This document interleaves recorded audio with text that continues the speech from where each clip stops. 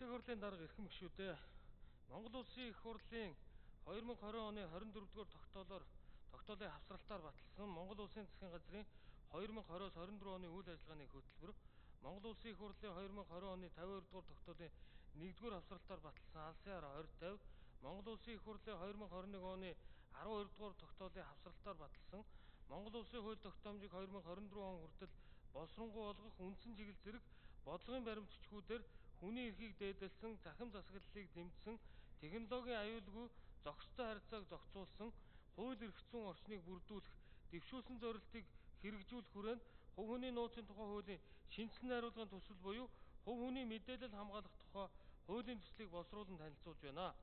Монгол Улсын үндсэн хуулиар Монгол Улсын иргэн халдшгүй чөлөөтэй хувь хүний нууцтай байх, үүнийг хуулиар тогтоон хамгаалахаар заасны дагуу Монгол Улсын хурл 1995 оны 4-р сарын 21-ний өдөр хувийн нууцын тухай хуулийг баталж мөн оныхоо 7 сарын 1-ний өдрөөс мөрдөж эхэлсэн.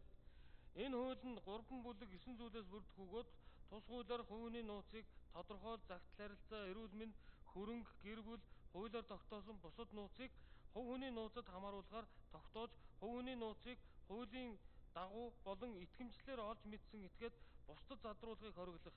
Энэ хуулиар хамгаалсан эрх хэрэгчлөөнд зөрчигдсөн гэж үзвэл шүүхэд гомдол гаргах, эрхийн талаар зохицуулсан Монгол Улсын үндсэн хуулиар тогтоосон хүний эрх хэрэгчлөөг баталгаажуулахад томоохон хувь нэмэр оруулсан хэдий ч нийгмийн харилцаа тасралтгүй хөгжиж байгаа технологийн хөгжлийг дэмжсэн энэ цаг үед нийгэмд үүсэж байгаа зарим төрлийн харилцааг хувийн нууцын тухай хуулиар зохицуулахад бэрхшээлтэй нөхцөл байдлууд үүссээр байгааг дурдах нь зүйтэй.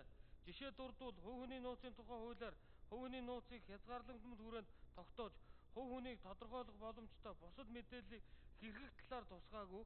Хувь хүн нууцаа өөрөө хамгаалахаар заасан нь хувь хүний мэдээллийг хариуцж байгаа. Этгээд үүрэг хүлээж байгаа олон улсын жишг зохицуулалттай нийцээгүй. Мөн хуулиар хувь хүний нууцыг задруулснаар тухайн хүнд илтэд тохирол учруулж болзошгүй гих хэд өндөр стандартыг тогтоож хувь хүний эрх хэрэгчлөө зөрчигдөхөд түүнийг хамгаалах боломжгүй боломжгүй хүрэх зэргийг дурдж болохоор байна. Хувь хүний нууцын тухай хуулиар хуулийг шинжилэн найруулах нь зүйтэй гэж үзэн хувийн мэдээлэл хамгаалах тухай хуулийн төслийг боловсрууллаа.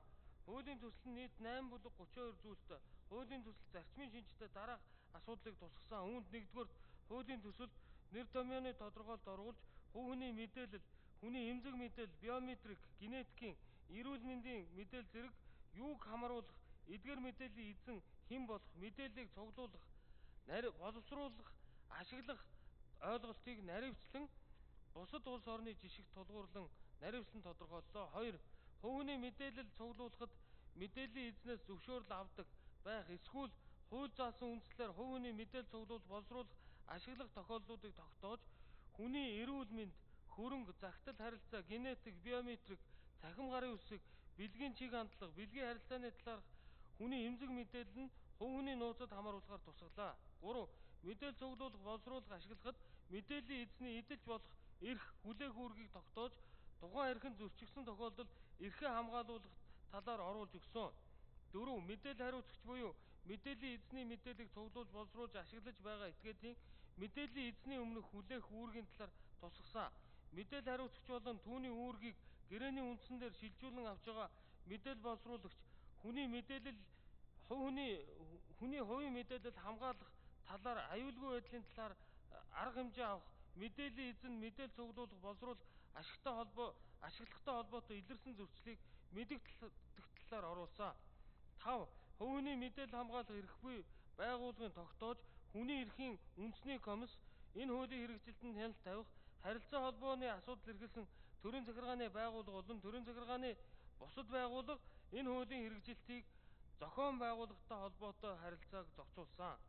6. Дууны, дүрсний, дуу дүрсний бичлэгийн төхөөрөмжийг байршуулах тохиолдолд дууны дүрсний, дуу дүрсний бичлэгийн системд тавигдах шаардлага, хориглох, хяналт тавих зохицуултыг тусгалаа.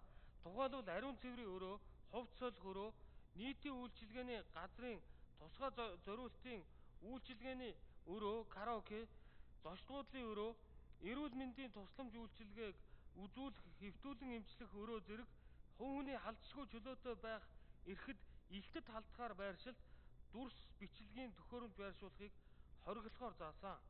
хуулийн төсөлтөд холбогдуулан хувь хүний нууцын тухай хуулийг хүчингүй болсон тооцох тухай, эрүүгийн хууль, зөрчлийн тухай хууль, зөрчил шалган шийдвэрлэх тухай хууль, хүний эрх эрхийн үндэсний комиссийн тухай хууль болон хуулийн нэршлиг өөрчилж байгаатай уялдуулан холбогдох бусад хуулиудад өөрчлөлт оруулсан болно. Их хурлын дарга эрхэм гишүүдээ хувийн нууцын тухай хуулийн шинжилсэн найруулгын төсөл буюу хүний мэдээлэл хамгаалах тухай хуулийн төсөл болон хуулийн төслийн үзэл баримтлалын хил хэсгийг шийдвэрлэж дэмжиж шийдвэрлэж өгөхийг хүсье. Анхаарал хандуулсанд баярлалаа.